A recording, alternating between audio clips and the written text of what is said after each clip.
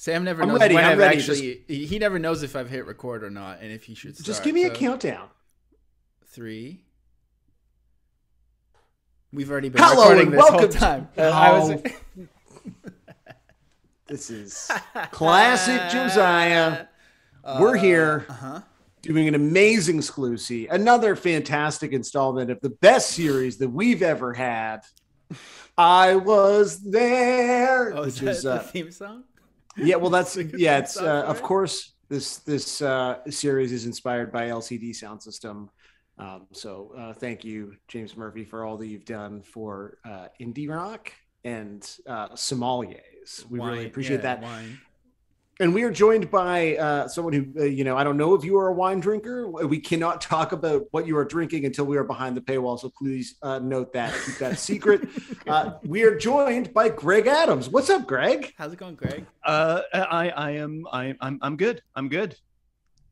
I'm glad to hear that. I- yeah, in, in interview. Yeah, okay. Uh, this feels strange because I'm very rarely interviewed. So this is, Mm. uh, Right. The you interview. know, it's, it's, it's being on the on the other side of the uh, What's like? the, do you the have a, you know? Because yeah, we've you and I have both been there together in many different ways, in many different capacities Yeah. over the years.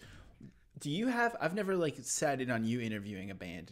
Do you have any questions that are like go-to questions for when you're feeling lazy or when things are getting awkward? What's like the one that you do? Oh, um, I don't know. I don't know if I have a set question, but like I sit with my my uh, interview audio a lot, and I feel like I could put together kind of like a uh, like a like a supercut of just me saying I'm I'm not sure where the question is in there, but right. and then just like and then just like a pregnant pause like that that is my go-to. yeah, I love that. Yeah. I always thought it'd That- be cool. it'd be nice to make a supercut of people saying, "Oh, that's such a good question." Oh, wow, We're what a great about the question! television show uh, Hot Ones, Josiah. They've already they've already made a show out of that. they? and It's quite successful. I hate that show. That guy's got to be the worst interviewer of all time.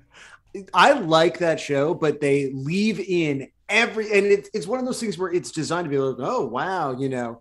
But as people that have done interviews, that's just like a rhetorical device that, in particular, famous people use to try to disarm you and make you think that they're normal. right, it's true. Uh, Greg, you know, we've got your credits and stuff will presumably be in the description of this episode. But since we're talking about interviews, I, you know, do you get this thing sometimes with like family members or like people who aren't really familiar with what you do who say, Who's the most famous person you've ever met? Who's the most famous person you've interviewed? And what is your answer to that question? Yeah.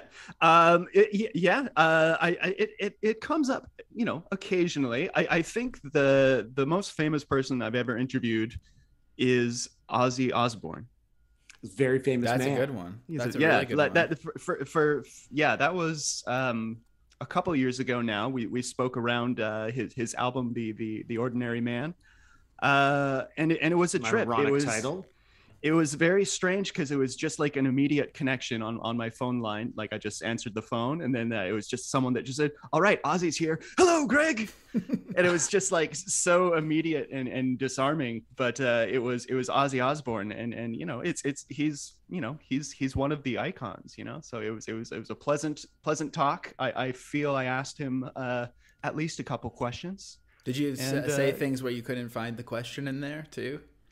I, I don't doubt it. I don't doubt that that happened. Um, That must have been hard Yeah. to transcribe, though. Ozzy Osbourne talking on the phone. The man does not enunciate. he was he was great. I thought he was great on it. Um, he he he did shout for Sharon once, which was uh, just like a, a, like a bonus a bonus treat. Yeah, no, to I- have yeah, that lovely. happen in your vicinity must have been exciting and you know look we've all had nightmares uh nightmare scenarios you know on on the other side you know where josiah and i are right now interviewing you um Yeah. not that this has been a nightmare what is the most It- disastrous It is for me. Yeah. well good okay good I'm, I'm glad to know one of us is struggling what what is the worst interview you've ever done I, d- I don't. Ooh. I know my- I'll say mine is the locust, which I feel like we've talked about previously on this podcast. They they were so not having my entire Well, vibe. yeah, that's the, the first time that's ever happened to me. Normally, I'm normally so everyone loves it. disarming. Mine is definitely Lil B because it was for a cover story for Fast Forward, and I went in on the weekend to interview Lil B. And I think you know I got like two normal questions, and then I was like, So Lil B, tell me where does the BasedGod end and Brandon McCartney begin? Like where do you draw this line? And he was just like, I love you. I love you so much. I love you. I gotta go. And he hung up on me. so the, the cover story was mostly biographical. There when you said you went in on the weekend, I thought maybe you alienated him by being like, you know, the Weeknd's not actually very good. right, yeah, that He was, was like, I think Abel is quite talented and a good friend, and you, Yeah. you just put him you have, off. you have Daniel Craig syndrome, confusing the weekend with the weekend. Uh, yeah.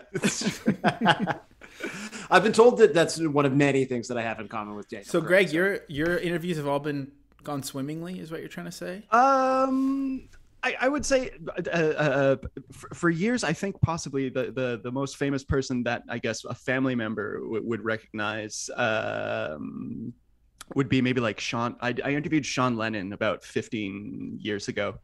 Uh, which was which was a great talk in general, but at one point he, he was doing an album um, called Friendly Fire, and it was a, a bit of a dip. Like, are, are, do do either of you have you have either of you familiarized yourself with like the early Sean Lennon albums? I know the one hit like that he had. What was the big commercial kind of like MuchMusic Sean Lennon song?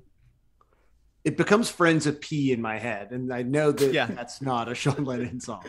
Well, yeah, yeah. I guess you know, like, like the, the first one he did was like late '90s. It was kind of like this bright but fuzzy kind of like alt pop kind of album. Some Mhm. really cool stuff on it. The second one was in more of kind of like an Elliott Smith kind of vein. And and in the interview, I was kind of trying to you know get get a, a, a feel from him between those two positions, and and I kind of it slipped out that I called like the second album like a bummer. Is like you know, and the second one is more of a bummer and he was just like, "Well, I didn't mean to make it a fucking bummer, dude." And like, just like the tone of the conversation, just Oh, was like, oh, oh, like, oh, okay, well, yeah, yeah, yeah, no, that's fair enough. Oh, but yeah, fuck. yeah, that's probably the easy answer for the worst interview. Yeah, That's pretty good. Pissing off Sean Yeah. Lennon, who now uh, uh, tweets a lot about NFTs. Uh, time time comes for us all.